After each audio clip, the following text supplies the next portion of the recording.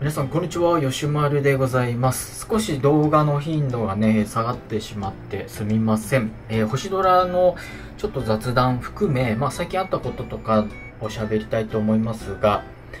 えっ、とね、昨日、昨日ね、夜、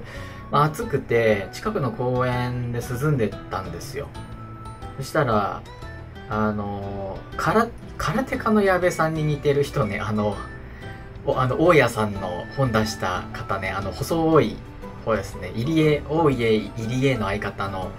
あの骸骨みたいな 細い、えー空手家の矢部さんでいいんだよね確かね。矢部さんに似た人がなんか近づいてきてベンチに。でえななんえこっちとか思ってどんどん来んのよ。いやえ何何？とか思って。で目合わせないにしようと思ってまあ手帳持ってたからちょっと手帳でなんか書くふりしてたんですよ。そ したら声かけられて、ねえっとね、ちょっとなんだっけな、あ、あのー、とか言って。だからまあ大体痩せてるからさ、声とかも似てんの。あの矢部さんにね。で、今お祈りをしているんですけど、1分間お祈りさせてもらっていいですかとか言うわけよ。で、まあ、興味本位とかさ、まあそういうので、だったらまあ1分間でいいやとかさ、まあ普通だったらね、そういう人もいるかもしれないんだけど、絶対その後宗教の勧誘とかさ、なんか思想とか語り始めるじゃないですか、そういう方って。まあ決めつけも良くないし、偏見も良くないかもしれないんですけど、なので、僕は結構そういうのはやっぱりあの最初からもうきっぱり言わないと、しつこく来るのはもう嫌なので、結構ギロッと睨んで、あ、もう興味ないっす、みたいな。ちょっと悪い人を演じるっていうかさ、興味ないっすよね、あっち行って、みたいな。まあそんなひどい言い方じゃないけど、ちょっと突っぱねて、あ、はい、いつでバーって向こう行ったんですよ。で、その人を、うろうろしてるのね、公園の中を。いや、これ絶対誰かベンチ座ってる人に声かけんだよなと思って。で、ベンチはあるところだったから、で、なんかこうぐるーっと、まあ誰もいないのを帰ろうと思ったんだけど、帰ろうと思ったのかなそれカップルがね、奥に座ってて、ああ、あれちょっと目つけられんじゃないのかなとか思って。だから、空手家矢部がさ、矢部さんじゃないけど、まあちょこちょこちょこちょこちょこってカップルの方行ってさ、まあなんか喋ってるわけ。まあだから、あの、1分間祈らせてくださいみたいなこと、うわ、言ってんなとか思って、どうすんのかなとカップルとか見たら、やってもらっちゃってんのね。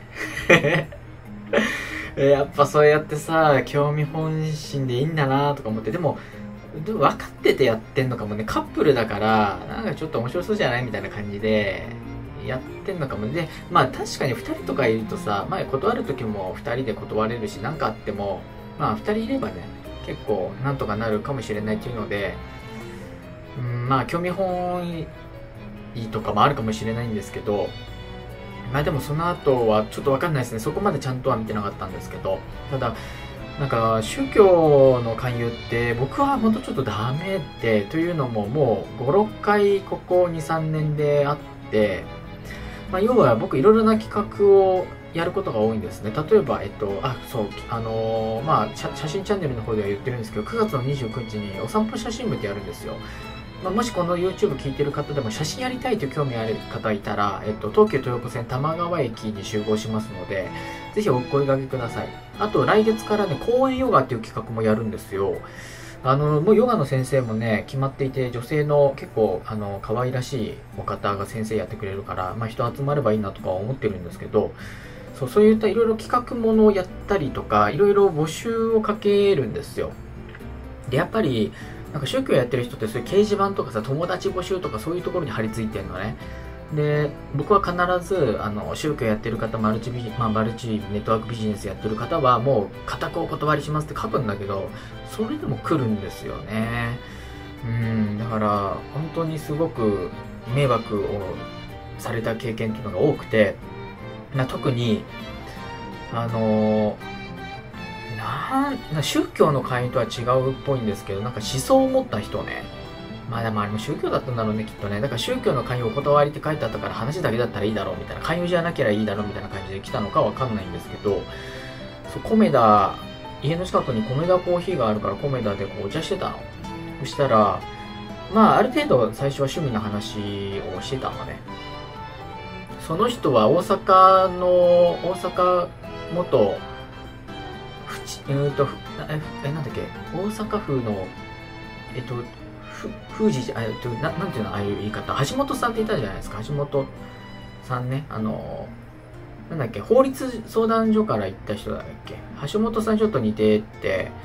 なんかちょっと口に手術の跡があるようななんかちょっと特徴的なお顔をされていたんですけどあのまあ普通に最初は話してたんだけどテーブルの上に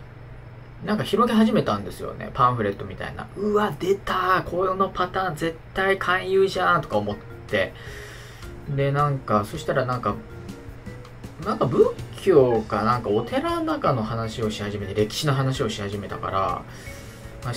バッといきなり宗教の勧誘ではないかもしれないけれども、こっちとしてはそんなのさ、そんな話したくないし、興味ないわけですよ。そんななんか、お寺とか歴史の話。大体そういう人っていうのはやっぱり何かこう敵対しているものがあってそれは良くないっていうようなことを話し始めるんですよ。おそらくあのなんかいろいろでもそういう人って多分上の人からそのと話術的なものはあの伝授されているからまああのそういう話し方とか順序とかこういった風にして入りなさいとかいろいろと多分いやなんと研究とかはしてると思うのです。あの精神論とかわかんないですけどね。でまあでも僕はもうかんそういうのは経験してるからもう感づいてるんですよ。こいつ絶対やばいみたいな感じで思っていて。でまあなんかこれはいいよっていう話だけだったら別に聞いてもよかったんだけどなんか昔はこれこれになんか支配されてどうのこうのとかっていうちょっとまあ、ディスりみたいなさマイナスなあの入り方してたからちょっとやっぱりもっと嫌な予感したのね。その何かを悪者に仕立て上げて洗脳させるっていうのはもう結構最悪だと思っていてまあでもいいこと話しても結局はもうそんな話したくないからちょっとそういう話興味ないんですよねって1回言ったんですよ。もう全然やめないのね。で2回目いやちょっと本当興味ないんでって言っても全然やめないからまあ、こっちが要はもう興味ないよっていう意思表示をしてるのに向こうやめないってことこれ絶対わざとだなとか思って。でちょっとブチギレてもう全部これ今テーブルの上にのあのあるもの全部今すぐしまってくださいって言ったんですよ、まあ、なんでかっていうと周りにお客さんがいてで結構その人も声がでかいっていうかさで明らかになんかパンフレットがなんか広げてたら嫌じゃないですか。なんかそういうなんつうのかなよくわかんないけど歴史とかちょっとまあ宗教結局思想を持ってるってことは宗教なんだろうけどちょっと周りの目線も気になってり始めたからしまってくださいみたいな感じで言ってもしまわないんですよ。だから俺もう本当にスマホを見てなんつうのもう話全然聞いてないふりをしたんですよね。でも話続けてるんだけどなんかやばいなとか思ってもう帰ろうと思ったんですよね。ちょっともう時間なんで帰りますっつったらいきなりなんか逆ギレされてななんていうのかな。なんで怒ってんですか？とか言っていきなりちょっと切れ切れ始めたんですよ。でなんか大声で罵倒したわけじゃないけどちょっとそれも声がでかくてちょっと周りの人が「えなんかあのテーブル大丈夫?」みたいな感じになってて。うわマジか。なんで切れられてんだろうっていう。なんかもうそういうそれは一番最悪でしたね、うん、で結局はまあ多分このまんまこっちもそのうんと切れた態度で接したら多分もっと火ついちゃってまあその声荒げられたらちょっとお店の中だし周りにお客さんがやっぱ迷惑になっちゃうから、まあ、一旦ここ俺俺が落ち着こうっていうことでいや怒ってはないんですよ。っていう形なんですけど多分この人にも何を言っても無駄だなっていうことはもう雰囲気でもう、まあ、経験上分かってるからまあ僕がその場で今すぐやった方がいいことってもうその場でもう立ち去るのがいいなと思ったんでもうそのまんま逃げるようにして本当は僕はちゃんと話をつけて帰りたかったんですけど、まあ、逃げもう何言ってもダメだったしこっちがやめてくださいって言ったのに聞かないし逆ギレし始めてるし。まあ一回感情に火ついた人っていうのはなかなかその場ではいくらもう何ていうのか理屈がうんぬんとかも関係なくなってきちゃうのでまあ、その場から去った方がいいなっていうことがあってからは、なんか何の話をしてるんでしょうね。ちょっと、宗教の話長くなっちゃったすみません。ちょっともうそろそろ新しい話いきますんで。だからね、嫌なんですよ、もう宗教の勧誘とかっていうのは。まあ、ただ、その宗教やってる人を責めるかっていうと、そうでもなくて、身内でやってくれりゃいいんです。要は人を巻き込んでいくっていうのが嫌なの。ただ宗教って人を巻き込んでいかないと大きくなれない。だって仕事っていう社会の中にいるってことはお金も必要だし、その組織力も必要なわけ。ということは宗教をやってる人たちっていうのは要は仲間を増やしていかないといけないんですよ。っていうことはそういった勧誘していく人を巻き込んでいくっていうもう集団であることは変わらないのね。で僕が嫌なのは要はその中でも過激派がいてそういったあの人たちですよね。先ほど言ったもう強制的に話を続けるとかあのうちの親もいろいろとそういった宗教系で嫌がらせを受けたことがあってまあ、話を聞くとひどかったらしいんですよね。家の前にもパンフレット山積みとか嫌がらせとかも結構されたみたいで。そうだからそういった過激派がいるっていうのがちょっと嫌なんですね。でもそういう人がいないと組織が残れないからっていうのことなんですよ。であのまあ生まれ育った家庭がさ宗教の家庭でとかだったらもうしょうがないじゃないですか。だからそういうのはもういいんです。あと宗教で本当にあの命助けられたとかさ例えば死のうと思ってたんだけど、まあ、街中でよく昔で手相占いとかあったと思うんですけどああいうのも全部宗教なんですよ。ああいうのからこうやっぱ人間の弱みにつけてくるからね。そう、ね、だからねそういうとこもちょっと卑怯だなとかも思いつつ、まあ、特に、まあ、多いのはねあの政治絡みでさ何々党に入ってくださいっていうのもあるけど、あれもさ、もう本人の意思でその党入るわけじゃないんだからさ、とかも思いますけどね。まあちょっとこの辺にしといて。まあ聞かれてる方でね、宗教を無視されている方でね、気分害された方がいたら申し訳ないんですけれども、ただ、あの、一般的な普通の人の気持ちっていうのはこういったことだと思います。まあ、あとはマルチビジネス、ネットワークビジネスも同じですね。はい。ちょっと話変えましょう。ちょっと星ドラの話をしたいんですけど、あのタイトルでね、ちょっとコンシューマーの話をしたいんですけど、まあ、星ドラも3年目近づいてきておりまして、今はセブンの復刻イベントでちょっとみんな、あの、ペースが落ちてるなっていう感じだと思います。結構、まあ、星ドラ長年ややってきたというか、長年というか、まあ、長くやってきた友人ももうやめようかなとか思って、データを本当に削除しちゃおうかなとかいうことも言ってるんです。まあ、要はガチャゲーだから、今後も新しい武器、プレミアムガチャが来てっていう、続ければ続けるほど、要はお金がなくなっていくっていうようなゲームであることは多分間違いないんですよ。まあ、ガチャゲーである以上ね。で、あの、まあ僕は、うんと、アルスでね、ちょっと、ね、えっ、と、優勝5回分引いちゃって、1万5千円ぐらいかな。3000円だとして355だもんね。まあ、1万5000円ちょっと使っちゃいましたけど、まあ、僕は1年に1万は使ってもいいっていう感じでやってて、ただパスポート課金はもうやめました、その代わり。まあ、あの、言ってもでも、総課金額僕いくらかな？気持ちとしては2万ちょっとしか使ってないと思うんですけど、パスポートも入れると3万を超えてるんだろうね、きっとね。で、サービス当初からやっていて、半年ぐらい一時やんなかった時代もありましたけど、まあ続けていって、てるんで、まあ年間で1万ちょいぐらいはちょっと使ってきたのだと思います。まあ本当に星ドラ僕面白いと思うんですけどね。うん、だけど、やっぱり、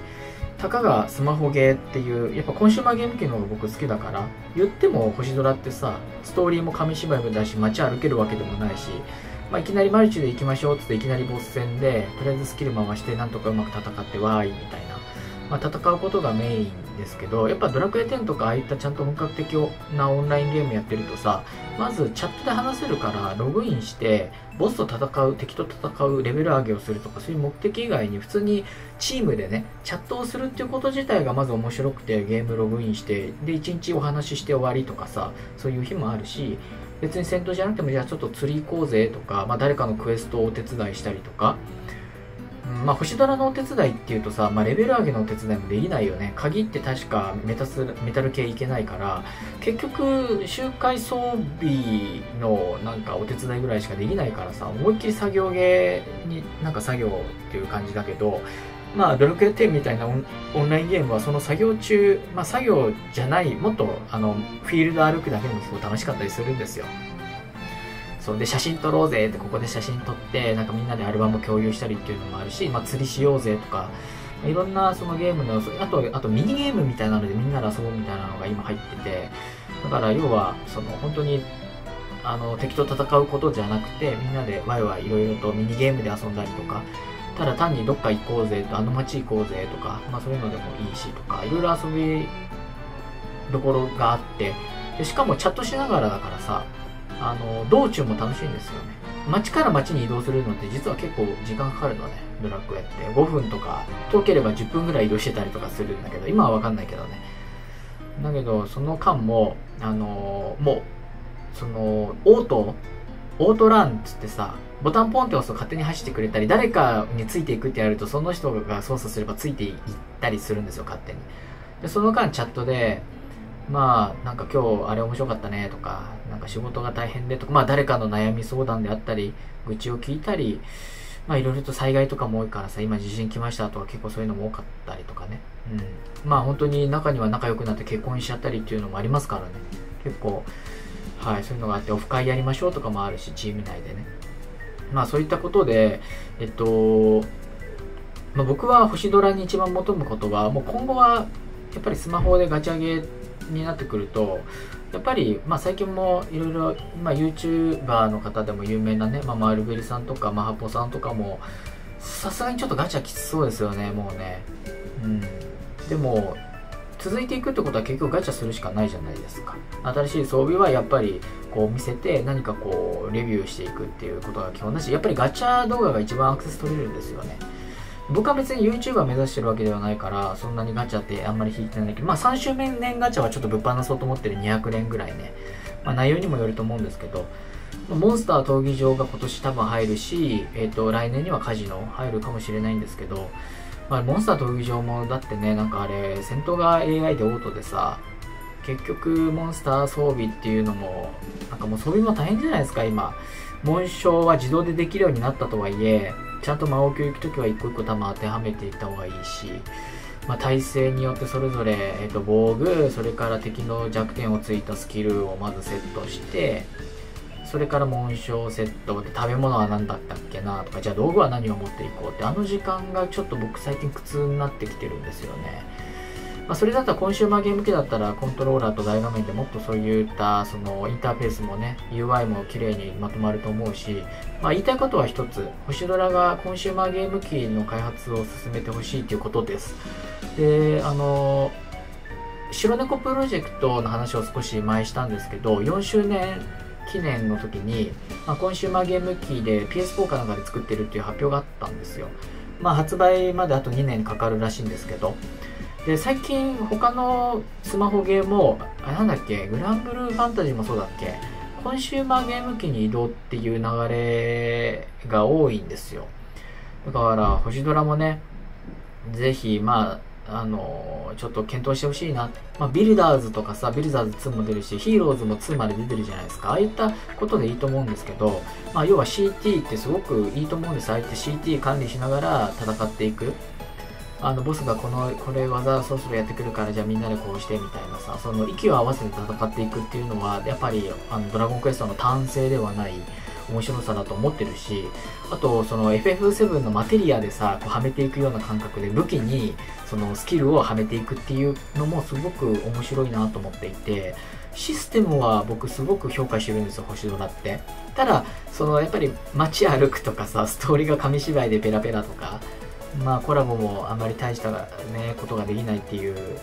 のもあってあとやっぱり一番はやっぱりガチャゲーっていうのとスタミナ制限ですよね。ああいうのもいらないですよ。本来ゲームってその YouTube のめぐみさんという方がいてその方はゲームに詳しくてよく話してるんですけどゲームって精神が上に勝ってないと本来いけないものっていうことなんですよ。僕たちがドラクエやっていた時代っていうのは別に制限なんて何もないでしょ。好きな時間に好きなだけ遊んでえー、やるっていうのは本来のゲームの形っていうかさでも今の子たちっていうのはスマホのゲームに精神が支配されてるっていうんですよ。まあ要はスタミナがあったらそのスタミナがたまるからやらないといけないとかさもったいないからね。あとまあ逆にスタミナがなくなったからできないとか。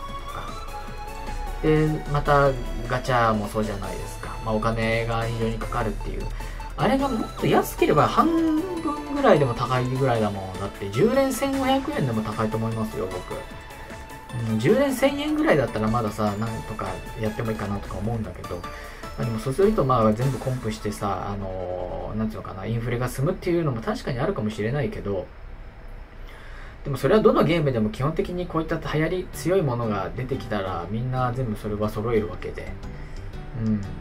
まあそうです。まあちょっとそれは難しい問題なんだけど、ちょっと星ドラに関しては、あのー、まあ、星ドラ離れはちょっと進んでいる人が多いのかなっていう気はしてます。まあ本当にモンスター闘技場が入るにせよ、僕あれはあんまり期待してないんだよね。うん、まあモンスターにやっぱり装備をとかスキルを装着させるのが多分なんかめんどくさくなりそうだし、まあそれでバーってじゃあ行ってらっしゃいってさ闘技場かなんかに出してで結果だけを見るみたいなことを言ってましたけど堀井さんとか市村さんがね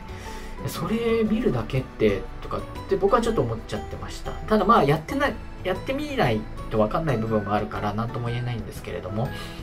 まあやっぱりそれよりはカジノ入ってほしいなと思うんですけどまあ来年とかだからね4周年にカジノとかになるのかな。その4周年でぜひともコンシューマーゲーム機開発進めてますとかね。この星ドラの、いや、かんだ、星ドラのシステムで、特に任天堂スイッチとかに出せばさ、まあ、持って行ってもできるしさ、ね、マルチでもっとグラフィックが良くなってさ、で、こう CT 管理しながら戦うってたら、俺すごい面白いと思うんだよね。で、さらに、まあ、いろんなドラクエ10みたいにね、あの、フィールドもすごく PS4 並みのドラクエ11みたいに綺麗でさ、歩いててもすごく楽しいとか、じゃあちょっとここで釣りをやろうぜとか、誰が一番これ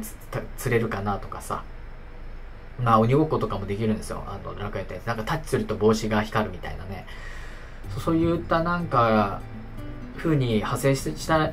していけばいいなっていうふうに思ってます。まあ、ドラキュアも12出るか分かんないからね、もう鳥山さんは疲れてるんですよ。ずっとイラスト、もう嫌だ嫌だって言ってて。で、杉山さんももうかなりのお年ですし、堀井さんももうさ、まあ、要は11って全部の集大成っぽくしたじゃないですか、ロトのね。